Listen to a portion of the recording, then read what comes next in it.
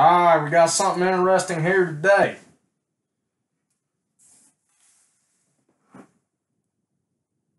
Finally picked one up. ASP Heavy Hauler. Ordered it on September 5th, I think. Not a bad box, really. Cut the top off of it. Privacy reasons, but otherwise not a bad box.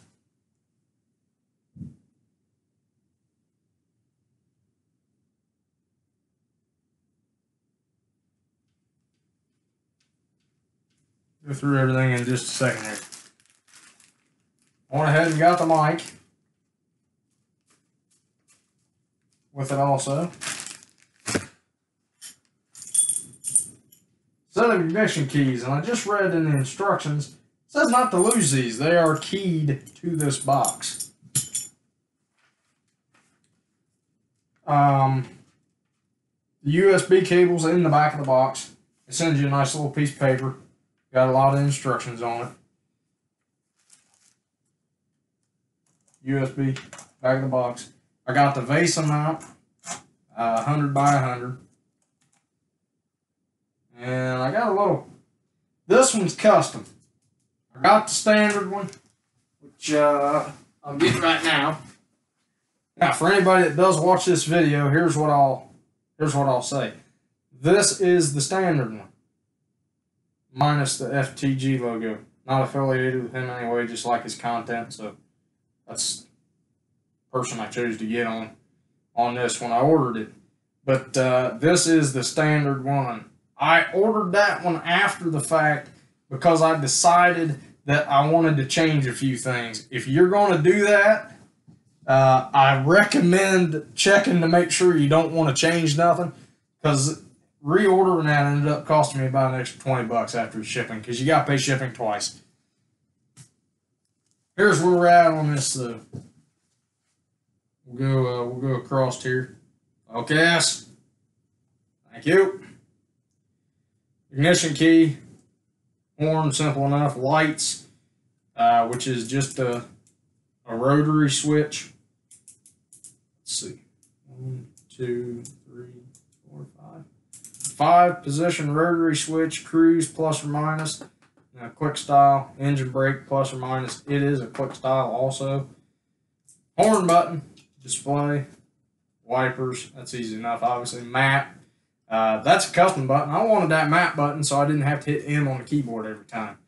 Uh, I got a toggle switch to turn my beacons on and just an accessory. I don't know what I'm going to map that to yet. Um, diff lock, you know, I really like the quality of these switches. They feel real nice for what it is. I mean, this was an expensive box. This thing cost me almost 300 bucks. High beams, uh, engine brake toggle on and off, then hazards, and then this is a little special here. Obviously, in ATS, for people that do play ATS, you know that there's not a drop air. But in a semi, you drop the air uh, learned a lot from truck driver, the place where I work, uh, teaching me things. That's one of the things he taught me. You drop the air when you back up to the trailer. So on the attached trailer key, I put drop air. I wanted the diff lock because I seem to use it. I wanted the trailer drop axle because all my ownable trailers have drop axles. This is a set to fuel. It's like an inner, so you push it and you don't have to hold it. Uh, this I really like the hold to apply, push to release parking brake, just like you do on a real semi. Overall, quality, looks nice, feels nice, minus a little bit of cat hair. That's from my cats. uh, nice USB cable, in my opinion. Uh, not that my opinion would matter much on USB cables, because I don't know that much about them. Here's what came packaged in. Uh, this was one piece wrapped around it. I cut it to get it out because I didn't want to take a chance on breaking one of the back studs off. Let's open this CB up. I just got this this afternoon. I had some chores I had to do, couldn't get to it right away. So I'm just now opening it up.